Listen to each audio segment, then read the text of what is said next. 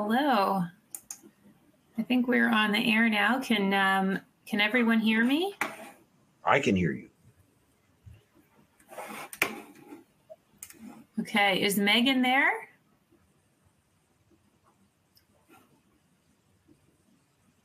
She is. Okay. Okay, it is 1 p.m. Eastern Standard Time. I think we will we will get started. We have a very exciting topic today.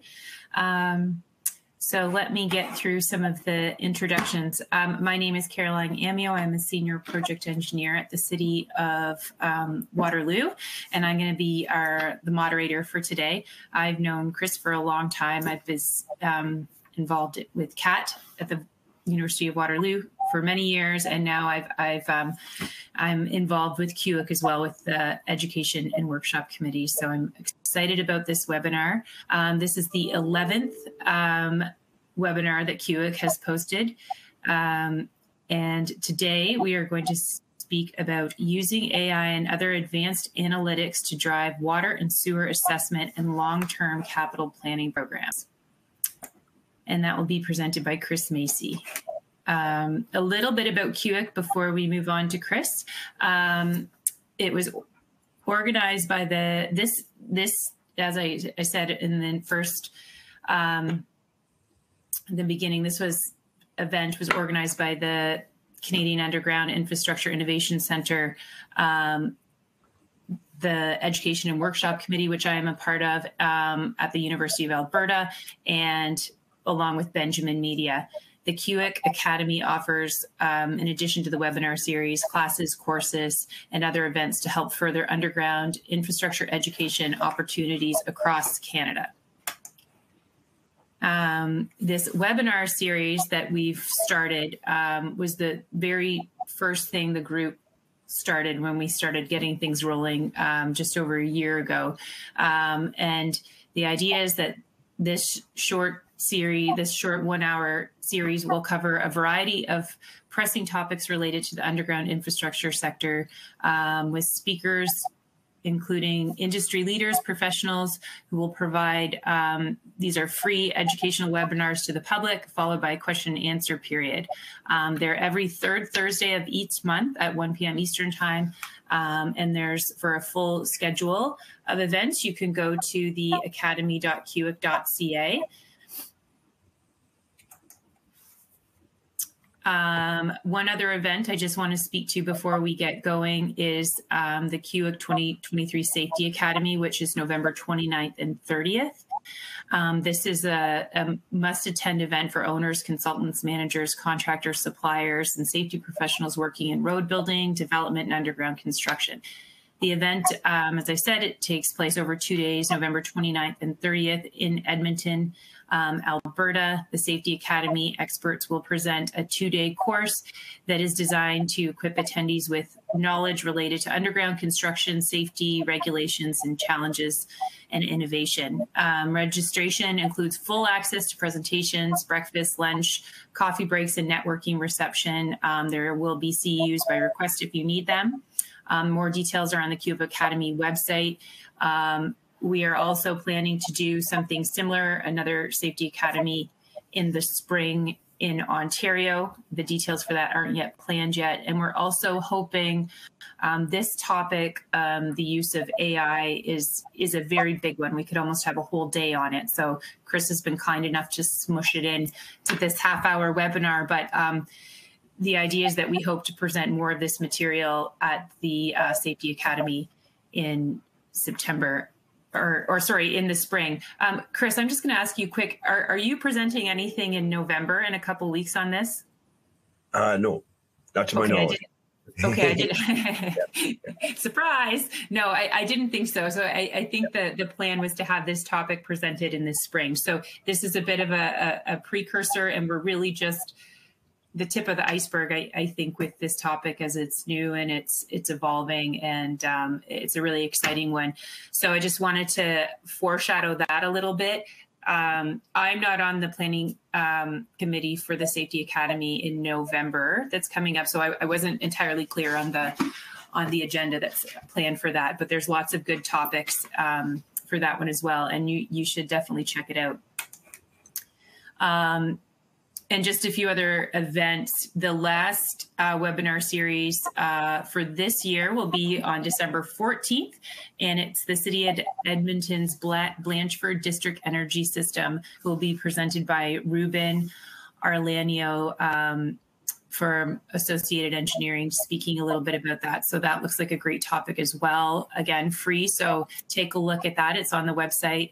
Um, and I've already spoken about the Safety Academy. There's also the 2024 Pipeline Rehabilitation Academy that we've started planning, and that um, last year it was in Ontario. And this year we're bringing it, uh, or for 2024, we're going to bring it out west. And that's already been scheduled for March 13th and 14th in Richmond, BC this year. So go to the website um, and check that out. It was, um, it was well received in Ontario last year, and we hope to continue doing the swap in the two locations and continue to update the content with the information that's valuable um, to the underground industry. And uh, I'd just like to give a quick shout out to our sponsor of the 2023 webinar series, and that's MPipe. Thank you for supporting underground infrastructure, education, innovation. Um, it's much appreciated. And um, finally, I'm done with my my preamble. I'm, I'm going to pass it over to Chris, and I'm going to let Chris introduce himself um, for those that don't know him. Um, uh, Chris is awesome, and I'm going to let him go from there. Thanks a lot. Thank you. So I'm going to uh, uh, probably ask yourself why an old guy is talking about artificial intelligence, and uh, but we've been working with condition assessment and advanced analytics for a long time, and uh, I have the, the fortunate of not only being working in the business for a long time in terms of analytic processes, but uh, sit on the the the AI Advanced uh, Committee for NASSCO, where we do a lot of work on trying to provide guidelines and map the industry moving forward on sewer condition assessment. And I'm fortunate with uh, Celine Heyer uh, to be sitting on the AYM 77 for the second edition.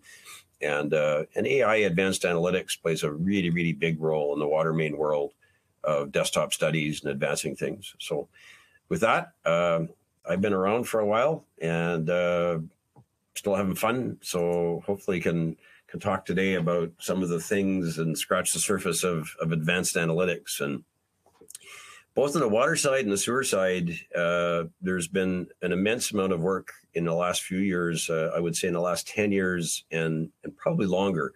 Uh, we think it's brand new and we get kind of enamored by what is AI. And uh, and AI, as I'll talk about a lot more in a moment, has been around for a long time, and it means many different things.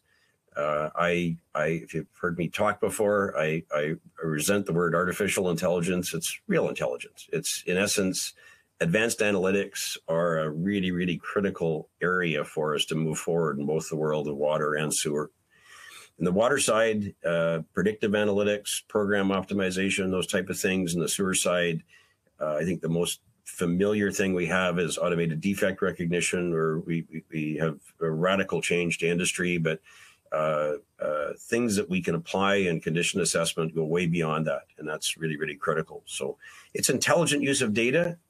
As I said, it's not new. It's been around for a long time. Uh, uh it's it's maximizing the amount we can do with data in that context. So in the in the what the future has in store for us is really really critical. The you know what is what do we get for what we spend? The ramifications of things. One of the things I will stress is the importance that that we don't practice this as a black box. Is that this you know on the analytic side on both the sewer and the water side, it has a hard foundation in material science and the processes of deterioration. And if it doesn't, you're not practicing it right. Uh, but it allows you to leverage a lot of innovative things. We have all of these innovative ways to fix pipes, and the way to and analyze that in the context of things are really there in the context of this these advances we have in computing power, our spatial representation, the automation process, and those are really powerful things that we can do. And uh, I think they will they radically change the way that, that we can work so AI, as I said, it's just it is the theory of of computer systems that perform tasks. You know, it's it's visual perception, speech recognition, decision making. It's ways that we can utilize iterative techniques. In the world of sewer, a, a, lot of us are kind of enamored by that picture we see on the right, where the you know it's it's uh, automated defect recognition, and automated defect recognition is a really critical thing in the in both not only the sewer business but in the way that we can advance some of the analytics we use in the water side. But it is one piece of the puzzle; it's not the whole puzzle machine learning is is really any algorithmic process we use that, that iterates that basically allows us to learn you know to, to improve our decision making and I, I, work with a fellow named jim davidson and jim always gives me a reality check and this is jim's textbook from 1981 and it is called the handbook of artificial intelligence. So if you think artificial intelligence is brand new forget about it. It's been it's been around for a long time. And the iterative process you know as is in the context of the way we use it now because of their ability to do computing power is is quite frankly blows me away from you know someone who's been in industry and things that we thought we figured out a long time ago our ability to solve complex problems is is very very powerful in terms of the, these advances we have but in essence the core of them are founded on good science and good analytical techniques and if they weren't quite frankly, they'd be as silly as Chat GPT given some silly inputs in a, in a, in a context of it. So the, the, the primary tools I'll talk about today, and by they are by no means the way I talk about them, are the only way that they can be used. They're they're things from my perspective and and stuff that we've been exposed to. But on the water side, certainly predictive, uh, deterministic tools. Most of us, if we've done advanced work, have built multivariate models before and uh, that has been put on steroids in the last few years in terms of what we can do. Uh, innovative, you know, rehab and and uh, assessment techniques. How do we factor those in? How do we, you know, how do we look at the impact of those over time? And I would say the word optimization is somewhat of an oxymoron, but optimization in terms of understanding, you know, how we integrate these things with everyone. There's no one who's run a water main renewal program that doesn't have a paving program thrown at them. There's no one that's you know had a good idea that you know said, well, this is a good idea, but you got to change. You know, you got to change your decision based on other things. And, and that process I call optimization, but it is understanding sort of what happens when someone throws you a curveball or the you know the impact of, of multiple things. On the sewer side, it sure is is is built on strong data, and because we have PACP and it meets a high bar, is we can do things like automated defect recognition, which will change the way that radically that we can process data, the rate of it, the you know the accuracy of it. But beyond that, we have to treat things. Defect cluster analysis, innovative rehab, same things. You know, the different toolbox from the water side. And at the core of it, we want to know what we're going to get for this. And that's what advanced capital planning is. That's driven by iterative techniques, as I said, by I think real intelligence, but advanced analytics allow us to do an awful lot in terms of, of progressing these things into the future. On the water side, one of the first things that we do is certainly statistical analysis. Uh, everything fails by design. It doesn't fail by because of a you know an accident. And when you go and look at things, and failure data in the water system tells an immense story in terms of of how much we learn from this. This is the city of Toronto's curves. Everybody has a different set of data, different drivers, but the the vast majority of work that that we do in water systems is really in the world of small diameter water systems. If we look at at the amount of failures that occur, anywhere from 95 to 98 percent of failures occur in in water mains that are 12 inches and under in systems. You only have a little bit that fails in big. That's what we drive condition assessment for. But that failure side is is of immense value. And it fails by era, it fails by exposure, it fails by different things that we can do. Size effects have a huge impact and a, a, typical you know area that might have 90% 98% of its failures on 12 inch and under it'll have maybe 95% of it on basically on on on on four inch six inch and, and, and eight inch diameter mains in the context of it. And that's an immense data you know warehouse to, to give us a, a really really good overview of, of what this means and we can build very powerful models with that. The other thing is that is we've watched the evolution of that. We've built multivariate models, and and I, I follow uh, Andy Raven's work a, a, lot, and, and Andy has been uh, very very well published in terms of, of different types of multi multivariate models. But the reality is is that we can we can build them on hard science, but we can advance them by machine learning, by advanced iterative techniques to get better fits. But the, if it's not built on good science, in fact, it's it, it will be a silly model. But the things that we can do from a computational perspective, again, can over, you know, like nothing happens by accident. So taking data sources like the the the the, the corrosivity of soils and overlaying that to, you know, to use that. Uh, we used to, you know, be able to solve kind of one pipe at a time in a system. And in an afternoon now, you can sit and take a good hydraulic model and a digital terrain model and assign unique loading conditions on on a on every stick in a system and start to ask it what if questions. Uh, we worked on the Colorado Springs in about uh, going back ten years ago now, and uh, fellow Jim Jim Davidson basically fit you know unique loading conditions to 220 you know and deterioration conditions to 220,000 sticks, and we can sit there and subtly change our question in four minutes, get a, an answer for the whole system. We worked in Toronto uh, it's a bigger system, 2.9 million people in the context of it, eight minutes. So computationally, the you know our ability to do that, and that allows us to, you know to, to understand the impact of other things in terms of a very very powerful multivariate model of looking at the impact of many things. So we we we can build ourselves you know an understanding of deterioration. We can have a predictive model. We can have this what I call applied loads deterioration model the reality is, is that there's other things that we can't control that actually trigger failure. It's not just deterioration; it's the severity of climate. The, the the someone gave us cast iron pipe at some point in life, and cast iron pipe, even though it deteriorates and it makes it more fragile, what ultimately will trigger failure is often the severity of a winter, uh, the the you know changes in moisture content, and we have to to understand whether our models are accurate or not uh, we have to sit there and fine tune them for actually climatic effects. Now, we can't predict climatic effects going forward, but we can certainly understand certainty limits of them. And that's a, a, a common type of, of uh, secondary effect that we need to model if we want to understand predictive models and, and cause and effect of what happens in, in, in water systems. But these two different views of things give us different ways to, you know, the uh, to understand the system. I like to look at the, you know, the deterministic type of model to understand, you know, in a very, very finite level of detail, a stick by stick behavior of the system. So we look at things in terms of bad areas, and I may not get the right stick, and I, I, I may be close. I'll be in the right neighborhood. I'll be in the right area, but I get a much more discrete view spatially of where I am.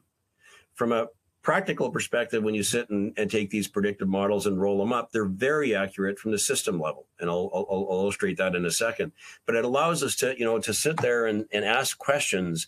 The, the little graph you see on the on the right is is across the top of it is is is basically telling me how to fund and and throwing money at something to to reach a, a, different you know level of failures moving forward in terms of trying to reduce failures. This was a, a graph that was produced in in uh, in Toronto originally to look at at uh, an objective they had that they wanted to reach by 2040 in terms of of, of funding and and funding strategy to, to get there and and that type of view is is actually a very very accurate view because the individual sticks it's you know is is a is a lot harder thing to predict but the predictive models as you roll them up into systems the error averages out. If it's a good predictive model and they can be incredibly precise. If we didn't have different ways to fix things life would be boring. So in the context of you know uh, of, of, of engineering, we need different ways to things. We we need to things fix things other than just by straight replacement structural linings are common and a very valuable thing in the toolbox, not typically with with uh, uh, condition assessment, but but in essence, structural linings to basically you know figure a, a, a better mousetrap in working with less construction footprint. One of the things I'm quite passionate about is is what's called assess and fix, and it is again a way to bring uh, uh the condition assessment process to more precisely predict what the condition is and the, the little views of you know the advancements we've had in, in, in remote field eddy current not in terms of the change in the technology, but our ability to sit and process that data live in real time, allow you to bring in that to a condition and, and, create differently, completely different forms of rehab that you, you would never have thought of before. And those are very, very powerful forms of analytical techniques that you can bring into the field to, to make you smarter and develop a big model. As I said before, you optimize these things and you, you have curves thrown at you. Uh, the the the type of algorithms that have been used for years uh, were things like genetic algorithms, Monte Carlo simulations, uh, capital planning, way that we could again figure out a way what's what's the impact of learning from our past guests at moving forward. The, the, the beauty of, of these type of optimizations is we don't just look at four or five alternatives. A genetic algorithm will allow you to look at about 100,000 alternatives in about two or three minutes. Uh, Monte Carlo simulations will allow you to do tens of thousands to hundreds of thousands in literally minutes. So it will allow you to do that in, in, a, in a practical perspective. And we don't just want to solve a problem. We need to, you know, we, we often ask questions, you know, like what's the, how do I get to so many failures by year, what, you know, whatever, you know, we need a targeted there. Most of us would like smooth funding transitions. You know, we don't, you know, we don't want to spend $20 million one one year, one, 1 million the next and just go up and down. So we have practical constraints. We want, you know, smoothness of service level transitions. We don't want things to get worse before they get better. So we want to develop funding strategies. And we all have risk models. So you want to minimize failures at critical locations. And and and if you have a paving program thrown at you, nobody gets you know more excited than a, you know a transportation department in terms of watching failure. So you have all these constraints, and that is a form of optimization of to figure out what's the real balance or what it's going to be in terms of optimizing all those things and, and modeling them going forward the cumulative effect of intelligent treatment is huge because this is Colorado Springs, and and in, in looking at their data, basically they had to fix about 180 miles of pipe over the next 20 year period, and if they used replacement alone, it would cost you know kind of that 18 million dollar funding.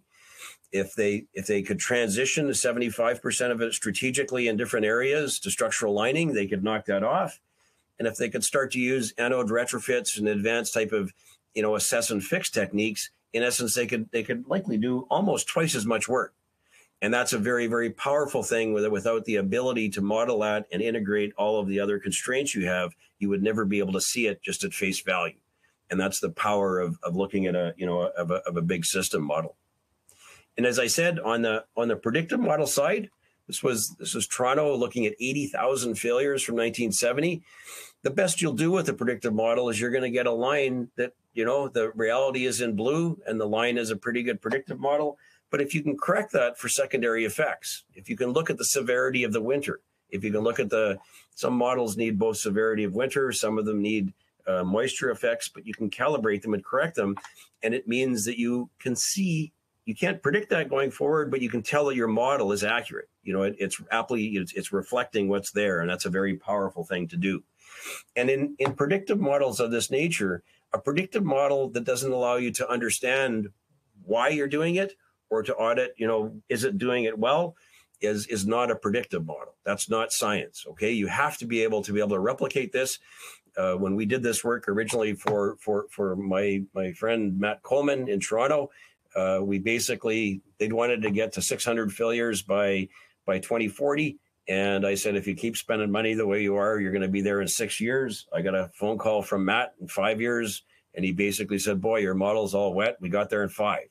Okay. But when we go back and revisit that in the context of applying the same rules, we'll see that our model, our predictive model, the essence of what controls failure, the cause and effect side of it needs to be auditable so that we understand why we're predicting things we will be conjecturing. We can do good predictions into the future, but we need to truth that with time to you know to have good predictive models, and that's a, an essence of of using advanced analytics.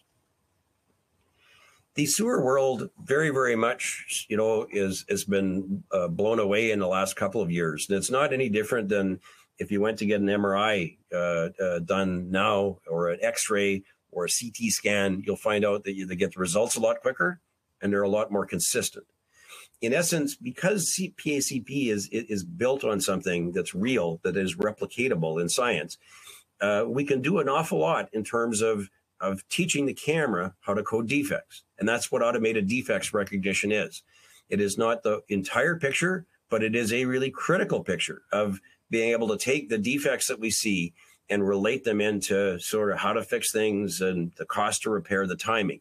And that's kind of the big framework that we're trying to do except now we can do it at a, at a much higher processing speed. We can do it more consistently and we have a greater need than ever to verify it. It doesn't mean human beings don't get involved but it means that the process can change radically and if you think about it this this pacp that we have. And like I said, if it if it didn't match science, you couldn't teach a camera to do it any more than you could teach a human to do it.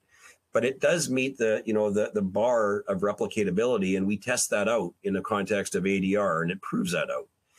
But the two things we know when we get something is that one, we understand the spatial ramifications of defects, and that will tell us how to fix things. But in a bigger picture, if we know something as simple of how it was born and what was kind of the exposure environment, we can also look at the longer term picture, and that's deterioration modeling so that we can understand the impacts of time. And those are two things that we ought to be doing with data the moment we get them in the context of a good sewer program. The the uh, how you fix them depends on what's wrong. You can really break sewer defects down into loss of ground driven defects, which could be different ways that the ground really impacts failure. The pipes develop cracks and fractures because of how they were designed, sometimes because of a little bit of fabric decay, but mostly because of just cracks and fractures from original uh, construction. Uh, H2S is a unique process, so that there could be biological processes that are going on inside, and that is hard material, a different form of modeling. And if we run an infiltration program, in essence, that is very, very, you know, closely related to loss of ground. But we need to look at the impact of grain size, of the soils, the hydrogeology of it, and those are all things that we can model. We can model them both in understanding the deterioration process because we can look at the time effects of these, and then we can look at them in terms of rationalizing what do I do about this in terms of what type of you know technology that's out there. And there is a whopping amount of, of innovative rehab it's not that complicated, but you can look at the the extent of the defects and the technologies that are out there, and you can apply the right technology to the right problem by developing a, a good guess at it and developing a simple set of rules. This simple set of rules I call defect cluster analysis. Uh, when we first started doing it, it was it was trying to understand the difference between a pipe with almost no defects in it, just a couple of localized fixes versus something. When do I fix the whole manhole to manhole segment? Uh, what can I line? What can I not? And out of the, the, the world of PACP, you can pull that data out and analyze it. Uh, when we first developed defect cluster analysis in terms of algorithms to go and guess the data, it wasn't to to stop engineers from doing their job, but it was to give them a hint. Uh, we thought that maybe if we could be 50% right, it would at least make them more consistent. What we found in the first data set, you know, data sets that we ran it on is that we were 85 to 95% correct. That's how simple, that's how powerful it was. And it doesn't mean that we didn't do engineering to go and finalize that final adjustment, but it means the moment that you've got data in that's been verified, you have an 85 to 95% understanding of the financial ramifications of what you're looking at. And that's incredibly powerful. And it's incredibly powerful in the, you know, in the in the processes that we use afterwards in terms of applying good, consistent judgment. And it would allow us to assess new technologies and new things over time. If the rules change, what's the ramifications of that in terms of long term modeling? So, in this big picture of sewers, we have this, you know, we have we have the pipe. We have the pipe that's in a current state. We know that fixing it at different times in its deterioration process, it costs more the longer we leave it to we can you know we can we can do recommended repairs if we if we look at things we will find things that we wish we had fixed five years ago. If we don't look at things we'll eventually see you know start to lose vehicles. We'll see catastrophic and we can offset all of that by reinspecting at a current frequency. And this is just a big do loop that now we can run and we can run and understand sort of what's the ramifications of different treatments what's the ramifications at different timelines what's the ramifications at different risk levels.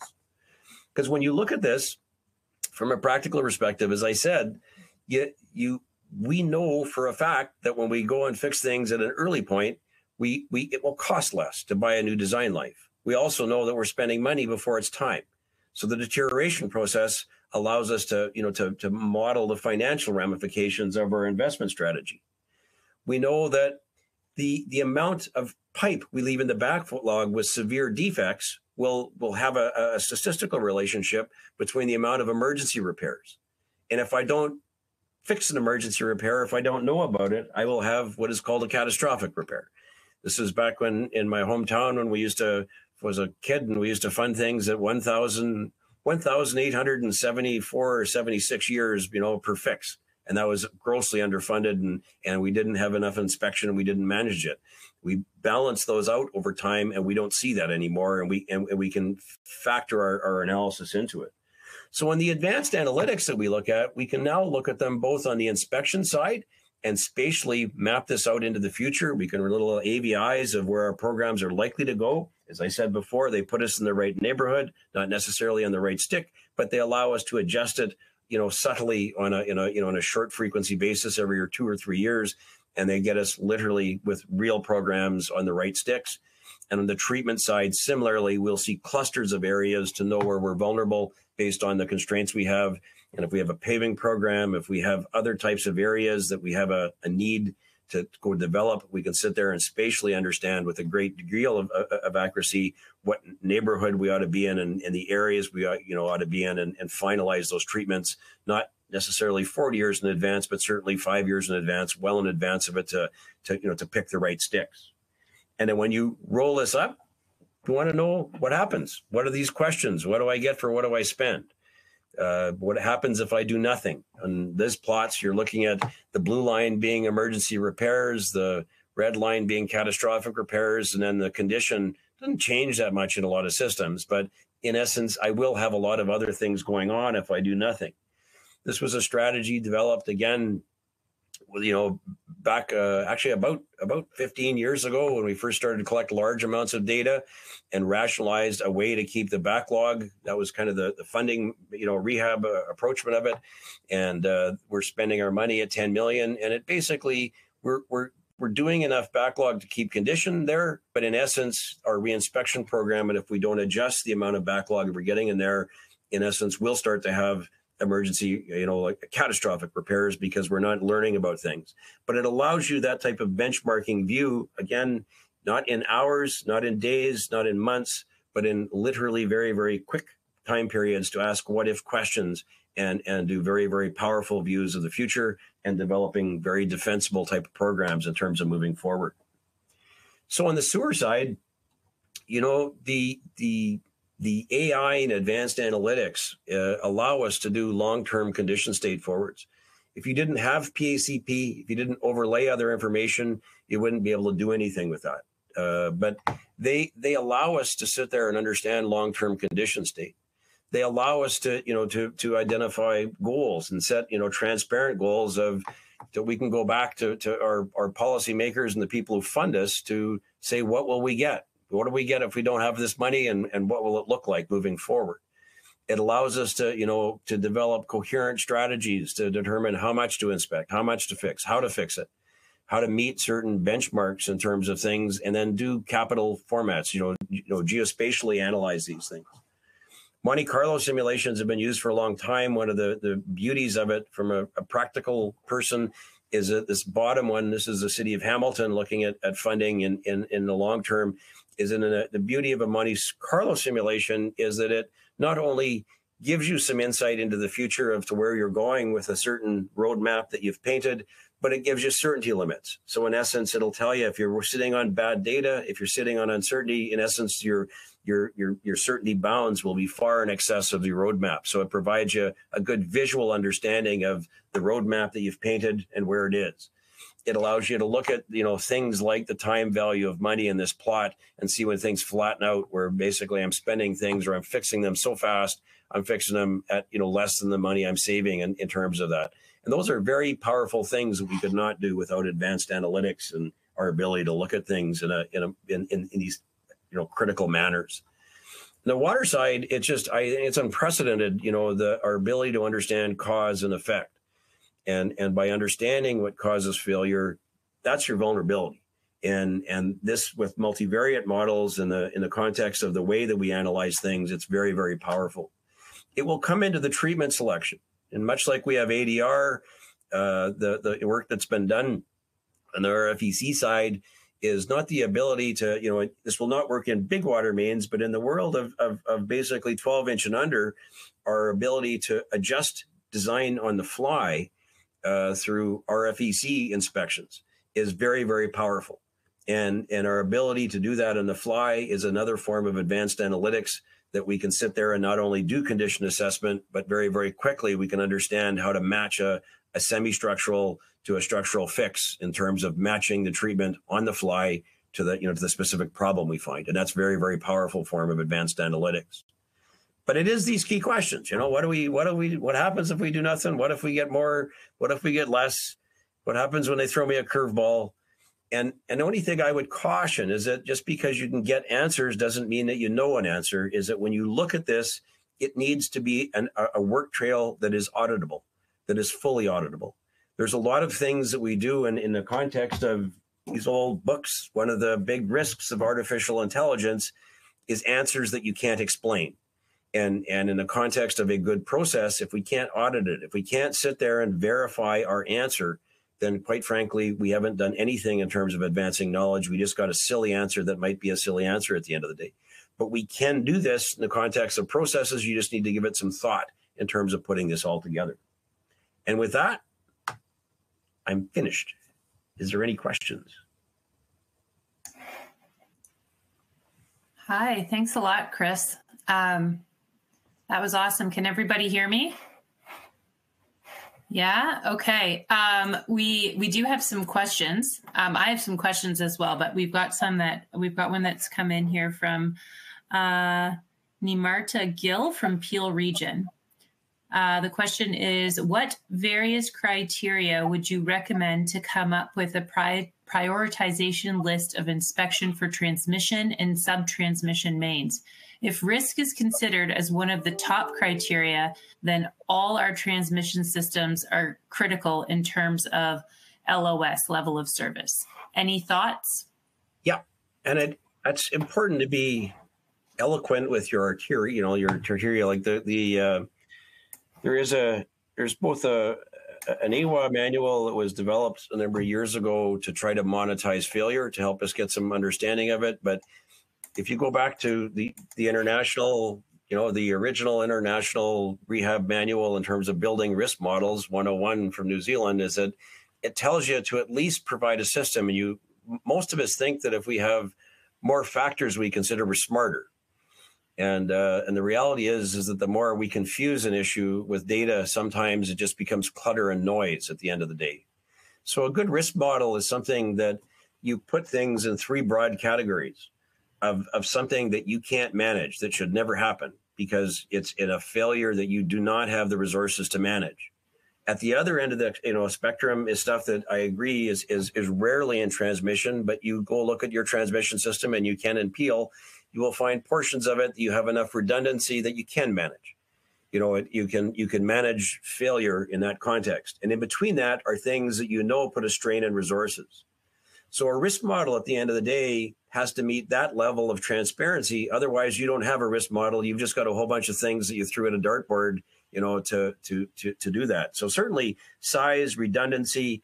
Most risk models that we work on look at, you know, the you know an economic component look at a, an operational component in terms of, of how it impacts your ability to be in the business you're in and an environmental component in terms of you know what is it what does it mean in terms of breaking the law and and often a social component in terms of you know of the degree of impact on people and there's good risk models out there that allow you to do that and just because quite frankly all of the failures on transmission will scare you you will find transmission system be component of three boxes of three boxes you can live with. And if you don't put them in those three boxes, they'll just all look the same and you, you won't get that level of discretization.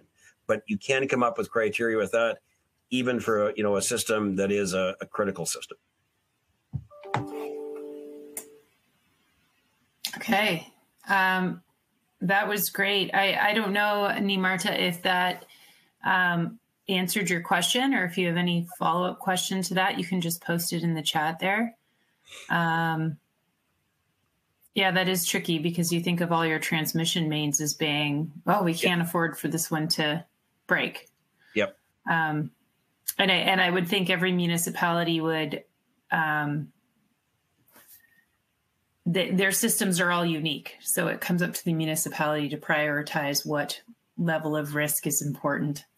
But it's um, put it in, you know, like in finite boxes, you know, in the, in the context of of things. We worked on a, a model once that had multivariate type of parameters for risk and and had a young engineer going into a meeting and they had 55 variables and i said that's too many and uh, and he came out of the meeting with 90 variables and all that plots at the end of the day is that oh everything you know nothing can fail. And that's not true. You know you you look at things in terms of redundancy or basic terms there is a big difference between you know the the, the ones that impact 80 or 90 percent of the system and the ones that have full redundancy in the context of things so. all right awesome. Um, okay we have another question here um, from Tayab. I think I hope I'm pronouncing that correctly. Um, what is PACP data? Ah. there were lots of acronyms acronyms you threw out there. I'll let I'll let you answer that. I apologize. Uh, the the language of sewer defects uh, is is is recorded in a and it is an acronym and it is pipeline. Boy, I'm going to blow the acronym. Uh, uh I might have to get Chris Mitchell to help me because uh, uh, I've been saying PACP for so long. It is the language that is uh, that is uh, um, licensed by NASSCO. Uh, it is a, a, language for categorizing sewer defects that evolved out of uh, the Sewerage Rehabilitation Manual in the UK in the 1980s and 1990s. NASSCO created uh, the PACP rating system to classify structural and O&M and construction features, style of defects in pipes. And it allows us to have a unique language when we put a camera through there to categorize every feature that is unique about the pipe. Uh, so PACP is is the language of defects. The the uh, the PACP in the context of of North America uh, evolved out of what was called the the uh, the WRC manual of, of sewer rehab. If you followed that, version four of that was version one of of PACP, and PACP next year will be up to version eight in the context of of both the core observations. But it is the language that we would be able to call something a crack, something a fracture, uh, give it orientation in terms of longitudinal, circumferential and and basically put all of those observations into a database so we don't have to just physically look at it we we can do an analysis to understand the spatial impacts of it and the and the nature of the defects so hopefully that answers it uh, yeah, and I just added in the chat there. It's actually an acronym for Pipeline Assessment Certification Program. Thank you so much. and and and it's like Chris said, it's like a language, but it's a standardized coding system. And and in order to um, the CCT, you, you need someone who is trained in P in that coding who understands that language, because yeah. it's like Chris said, if if I did it and I don't have my certification, I call it a crack. Well, that's a fracture, and that gets a different rating. So it's really important, and I think the industry did a good job of deciding we need to speak the same language when we talk sewer defects. So, um, really super important that um, we're all speaking that language when it comes to sewer defects. Yeah. Uh, so hopefully that answered the question. Um, okay. Uh, Blaine Hunt. Oh, sorry. Did you want to say something, Chris? Well, I'm just going to answer that question. That that's a good one. There are there specific spec, uh, steps in the review and reliance of uh, that are generated by uh, AI and and that is a really good question. Uh, just because there is automated defect recognition doesn't mean that you don't audit the process. The the camera is impacted by the quality of data. Um, one of the things we're trying to do through NASSCO is provide guidance. In the context of the next year, you will see guidance on on how to audit that type of data. Uh, because auditing that data is as important as auditing the human being's data. Right now, we have verification processes, not just trusting a human being, but by independently reviewing certain portions of the work to make sure that it is accurate. Uh, there is no question automated defect recognition is a quality, it, you know, it's a function of the quality of the video. Video at higher levels of resolution uh, is coded more accurately, both by humans and machines, than very poor quality video. That's a reality of it in the context of a good piece of automated defect recognition software, it will not only give you an answer, it will give you a certainty of observation on that answer. So it allows you to audit in the context of, you know, not only not only is this a, a, fracture, but it's a fracture with a 90% level of probability, you know, at a very, very high level because of the clarity and the distinctness of the feature. So there are very specific ways to go through. And if you sit there and don't audit ADR data, then in essence, you could be left with not just making a little mistake, you could make a lot of mistakes. And you make them, many, many of them, you know, so, you know, making a million mistakes in a day is not going to make you smarter. But by auditing a portion of that work, and I, I think one of the other things that is that we need to, to, to realize is that we don't measure how a machine does something as a human does it. The bar in in uh, in NASSCO PACP is to make sure a human is at least 85% accurate on all of the work they do. And for a human, the you know the implication is that a human's always trying to do 100%, but we're not perfect. That there's a certain amount of variability in the system. The bar for a for a camera, you know, that's trained by automated defect recognition has to be higher. Because if we if we train it and calibrate it to 85%, it's not going to be 86% correct. Okay, it's in essence, it needs a different way of looking at things. And in the context of looking at the accuracy of it, we need to set a different way of, you know, of, of evaluating its accuracy because it is as good as what the camera has been trained trained on. And uh, uh, the, the, the core data that we train ADR on is a big issue globally. In the UK and in the IS, the world of ISO, uh, the uh, there is very very much uh, uh, uh, a move towards obviously just like we are in North America doing automated defect recognition at a much higher level. And what there is from the WRC side and I believe you will see NASSCO adopt a similar approach is uh, is to create a global a global database of imagery to train cameras on. And that way someone's not limited by you know the, the quality of their data. But it's not hard to you know to develop a program to to to assess the reliability of, of automated defect recognition. It's just different in the context of of we're assessing a machine's ability to be you know replicatable versus a human but it is very very similar type of processes. Okay. Yeah i think that's still uh, an important step. Um, just on that note how far off do you think we are like it in terms of AI really actually you know what? Yeah no the, the there is a, a huge and again it relates to the quality of the data. As as you crank up the resolution on your inspections uh, an ADR system will be more accurate. And it'll give you it'll be you know because it's it is as it's just like a human. So if you're trying to use it for legacy data you will find that in essence you have a greater degree of variance.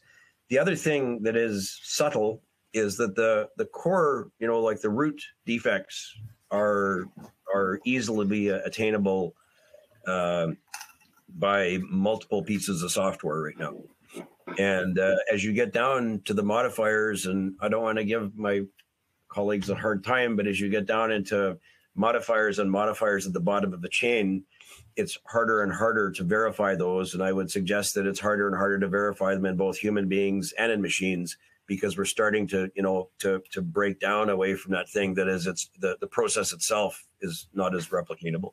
But for the root defects, uh, it's very strong for a, a number of pieces of software. And again, if you elevate the the quality of the you know the the quality of the video that you go and capture it has a huge impact on performance of adr as a technology. And we use it right now in a lot of places. It is a it has a huge impact on on the, the reducing the cost to do verification and do treatment assignments in condition assessment work. Okay um, there's a lot of questions that have come in here now, so I'm going to try to keep getting okay. through them. If if you don't think it's answered, put it in the chat, and I'll try to get to it. Um, so the next question is from Jax Vollmer from GM Blue Plan. Have you found excessive coding by ADR systems has an impact on modeling reliability? And I'm not sure what's intended by excessive coding, and I I, I would have to defer to the system you're looking in because uh, I proper interpretation of automated defect recognition in the manner that we talked about here uh, does nothing but Im, improve our ability to be consistent. And uh, so I, I, I would say it. I, I I can't. I'd have to be shown a specific example of what's called excessive coding, because in in my experience, we don't see excessive coding. We see coding of what it sees. It codes everything because that's what it's trained to do, and it's as good as what the model is trained to do. So not all software is is, is equal, and uh, if you can't verify it, then it has a huge impact on modeling reliability. If you can verify it, then in, in essence, all that ADR does is is improve modeling reliability. Um, okay, I'm just uh, sorry. I just got a note. We can also, if we don't get through, we can answer questions offline too. But um, I think uh, let's try to keep going here. Um, this is from Adrian Tessessi at City of Waterloo. Hi, Adrian. Um, cost of CCTV is high. Would AI slash ADR be much cheaper considering the outcome from AI is not NASSCO certified and post processing is required? So it's a, a tricky question because there's some things in there that are not technically correct. Is that uh, certainly NASSCO doesn't certify, you know, the, the piece of software. They do certify the data and, and and are actively working on systems to make sure that what you have is in essence a, a verified PACP data set at the day using ADR techniques. So the the the the ADR committee is working on on a couple of work streams that you will start to see uh, be reported on at the NASSCO's general meeting next year, and you'll see them come out over the course of next year. One of them are guidelines for how to basically audit what's a, a, proper way to, to, to validate or verify an ADR data set, which is not going to differ a lot from how we verify a human data set because human data sets that aren't verified aren't any better than an ADR data set, you know, that's that's not verified. So it is very, very important in terms of that process to verify it. The other thing that is quite real is that we've limited, you know, like the the uh, ability to to do a, an inspection right now has been limited literally since we've started doing CCTV to about 30 feet a minute, nine meters a minute, based on our perception of what a human brain can process. ADR is not limited by that. And we know that. We're trying to quantify that in the context of, of an inspection technique to one, to crank up the resolution to make the ADR, quite frankly, more accurate, and to to, to basically have the resolution cranked up such that it can be slowed down for human verification and the the the, the uh, and that balance is something that we're trying to work through as industry. The net impact will be the ability to reduce the cost of doing CCTV work because in large programs we'll be able to inspect much faster than than 30 feet per minute. But to do that, we need a, a program of verification, and that is really really critical. Right now, the cost of just the post processing itself with verification and sticking to 30 feet per minute we can demonstrate that in, in essence it saves a lot of money to to basically run a condition assessment program over a conventional way of doing a condition assessment program okay um, hopefully that answered your question um, we'll move on um, to brian murray from the town of penetanguishene uh, are there software packages out there that are available to complete ADR for sanitary CCTV videos? Yep. Yes, there are a number of them. I don't want to. I at the risk of getting into trouble because because we market them, uh, other people market them. Uh, it's it is an emerging field, and there is a lot of software out there. And I would, you know, like any type of software procurement, I would, you know, in, encourage you to to go and ask some hard questions and to and to do some work with it before you you know, go buy the car. But in the context of it, yes, there are a number of packages out there to allow you to do automated defect recognition and integrate that into a condition assessment process. Okay. Um, next question. Ashwini from IKT. Yeah. Um, AI answers what question mark, but it is also coupled with the answers why. I mean, why is a simple crack more critical than a complex and wider cracks? If 100 red zones are indicated, which of them are to be addressed first? So first of all, in a, in a question, why is a simple crack more critical than a complex and wider crack? That's actually false. That's that's a technically incorrect statement. Cracks and fractures in rigid pipes are are hinge points. And when it becomes a fracture, the definition of what a fracture is under PACP and WRC is basically a crack that has has basically progressed to full wall thickness. Now we use visual criteria to identify it, but the significance of a fracture, of a basically a crack that has has propagated to full wall thickness that is rated in terms of severity, is it facilitates loss of ground. Loss of ground is why pipes deteriorate over time. One of the most primary reasons that pipes fall down is not the fracture itself, it's that it facilitates the loss of ground process. So if you understand the deterioration process, the the the, the language itself is and the severity of the defect, which is coded under PACP, provides you very good insight into understand that with other supplementary information and understand how it relates to the deterioration process and and the different means you have to fix it. So that's the best I can answer that without going over the one o'clock or the, the two o'clock initially. So, but I would suggest come and sit at a seminar where we talk about deterioration in detail. And there is a good reason, you know, and uh, and uh, that we've been utilizing PACP and WRC coding for a long time. It is a, a very, very good language that helps us understand the physical needs of deterioration and, and rehabilitation. The coding, the coding helps Absolutely. Distinct yeah. the, the difference between that. Yeah. Yes. Thank everybody who helped me get I'm gonna be beaten up on the technical advisory council. Everybody who pointed out pipeline assessment certification program for me. So it's you were on the spot. I you say it so much. I get it too. Uh, yeah. uh, Joanne uh, Barrett from City of Calgary is asking, without having read NASSCO guidelines, for AI policy. Is NASSCO providing any specific guidance for companies and utilities to explore automated defect recognition? The answer is yes. We we you will see through the committee we regularly pump out guidelines. I I would be I, I would answer in a supplementary question. I'll have to go look, but I could provide some links through NASSCO. That's their objective. Uh, ADR and and the use of advanced analytics will have a profound impact on the sewer condition assessment industry and it is something that we spend a lot of time trying to disseminate good knowledge and good guidelines on how to do it we don't certify software but we certainly license the language of use it and provide guidance on on the you know on the the means to you know to apply it uh, correctly and and yes there is a there is an active committee uh, there's actually a number of active committees from the software side from the rehab side all sort of promoting the, the, the use of it and integrating it, and there is there is some good guidance on that to stay, you know, to to to, to stick tuned. So if it's possible to answer it afterwards, I can get a couple links and make sure they're posted. Yep, we can add to that for sure.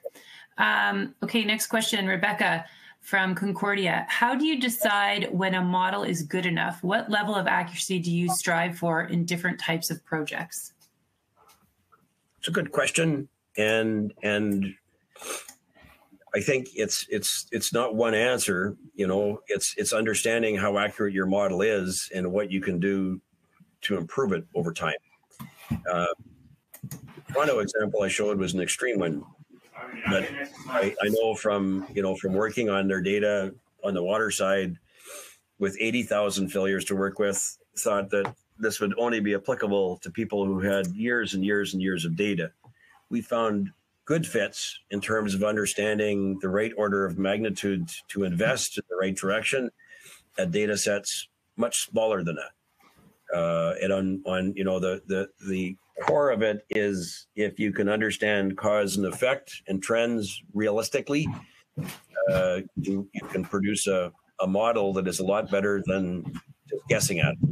You also, in the going through the process that I talked about, is it helps you understand. That's why I said you have to audit it. It's not as much coming up with an answer, but it's understanding what contributes to that answer. Because moving forward helps you refine your model and refine you know the way that you're looking at the, the deterioration process and and to, to basically improve the accuracy of it. And that's kind of the the best answer i can give because it's not it's not one number. It's seeing good evidence that you have a good understanding of cause and effect for each pipe material each era you know on the water side and similarly on the sewer side in terms of what contributes to the deterioration process. What's the primary driver um, okay, it is two o'clock. I'm not sure if we're allowed to go on. There's still three more questions. Uh, um, do we want to keep going on? We can we can do follow up answers to these. Uh, we have them all recorded. Um, I, I have a bit of time, Chris. Or do you want to keep going? I'll go through a couple. Ice. There's a couple more in here. The the approximately when do you think AI pipe condition assessment could become a common practice? A lot of my seniors think that it will never be implemented, even be implemented. And, and I, I can provide a, a good story on that because when when we sat and presented back to the board on on uh, you know uh, at at NASSCO and, and talked about you know uh, this is a real thing. This is not, you know, a whim. This is not something that's five years off. That's stuff that we're doing right now.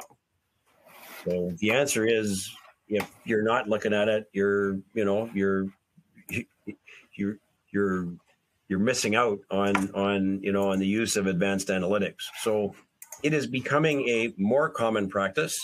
We find more uses for it in other ways. One of the things that is is incorporated into PACP 8 is a data structure to start to reflect uh, the, the, you know the difference between both legacy data or the manner in which your analytical technique was used to uh, to you know to uh, to factor that in in terms of how you assess data reliability.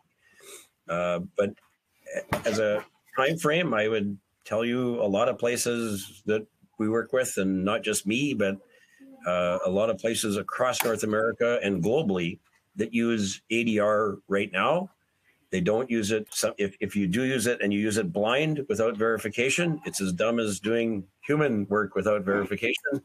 But it is a little bit more challenging and very, very important to focus on that. But it is not something you may never implement it. Uh, but but there are many who are, and and the people who do as an industry, industry will benefit a great deal from from the implementation of it. Okay. Um, I think we'll keep going. I still see 86. okay. Uh, okay. Philip Balt from GM BluePlan asked When forecasting wastewater defects, what type of machine learning models would you recommend? I've seen some people attempt to forecast PACP defects in research papers, but a lot of them don't have a good understanding of PACP standards and end up with models that are fairly inaccurate as a result. Example, some that forecast purely based on the defect grade instead of grouping relevant defect types together first. I'd be interested in hearing of any modeling techniques that you have come across that have been proven to work. Yeah, and I similarly I get to do peer review of wild ass modeling techniques on a regular basis and and I would concur it's it's like someone trying to you know factor. I, I, would say eloquence has a great deal. Stephen Hawking talked about the importance of eloquence in a model. Uh, one of my best Stephen Hawking quotes was was he he said he could produce the mathematics that shows you that the that the sun revolves around the earth, but he says it wouldn't be pretty. You know, your watch is going to look pretty funny, and uh, and that's uh, eloquence is is important uh, you're correct in that you do need to group these. You need to understand the process that you're trying to model, and the way that you would model H2S is radically different than the way you would model loss of ground style of defects. Uh, the most simplest model that we've done on times of loss of ground or infiltration related defects have been just straight Markov uh, modeling techniques, which is a very simplified way of looking at it, but forecasting it out on a stick by stick basis using some other type of techniques to assign the, the randomness that we see of it because there is a randomness to in in reality that occurs to them that I can't take out of. So eloquent, match it to the deterioration process. Um, I can tell you that we've utilized again very very eloquent processes that are simple, that having looked at them, you know, values for investment uh, that we created on a stick by stick basis have a probably a, a, a, huge failure rate, but on a, on a dollar value to invest at, rated very, very accurate view of the rate, you know, the relationship between what we send and, and the rate things get fixed up. So hopefully that helps. And then capacity performance models. Um, that's actually a really good point from Loretta, and and uh, uh, there is no question that when when we look at things, uh, there isn't you know an integration between things and and and hydraulics and hydraulic performance in the context of of risk do have an impact on structural performance on structural risk. So uh, uh, certainly in the in the context of the way that we look at things, optimization of solving multiple problems, whether it be hydraulic deficiencies like on the, sewer side or on the on the water side, where we're trying to solve more than one problem. That is the beauty of an advanced optimization model. Is you know look at the impact of many decisions on your you know your path through as opposed to just one because it's wonderful if we're just from the structural department and we're just trying to fix these pipes but we do have hydraulic upgrading. We've got all these other problems. And if you can't look at the net impact of you know following that through, you won't know the best solution overall. So it is important to integrate them at the end of the day to to look at that. And I'm talking about optimization of, of models. It's, it's talking about exactly that is what does it take to solve all our problems, not just the one that we're given in the context of it. Yeah, I, I think I think that's it. I think we got through all of them. Okay. All right. see any more? Here's some, yeah. but I think we can take a look at them at the end. That's a pretty good run of them. And if that helped, I'm that's a, an insight into what we're we talking about in in uh, in Richmond in uh, in March. So. Yes, yeah, come, or or I think it's going to be in um, Ontario. Ontario, okay. Yeah. Wherever I, uh, we're, we will have that posted. Yeah, I think this is, like I said, a, a, really big topic. And thank you for trying to squish it in the way you did. uh, thank and thank you, everyone, for coming. Um, there's, uh, I think we still have 66 people, but thank you for the patience and going overtime. Um, yeah, I, I, think we can. Um, I think we can still follow up with those questions, right, Chris? Yep. I think Megan's telling me she still has them. So yeah, that was great. I, I think the questions were great, and this is an awesome topic. Looking forward to uh, seeing more on this. Yeah, hard to talk about water and sewers together. Too. It is. It was but, uh, a bit of a try. We tried to. There's a lot of commonalities, but they are different beasts. There's no question. Yeah, and I, I, think from a bird's eye view, uh, we've scratched the surface, like I said at the beginning. awesome. Okay. Thanks a lot. Thank you, everyone. Thanks, Chris. Thank um, you. Yep. Have a great afternoon, everyone.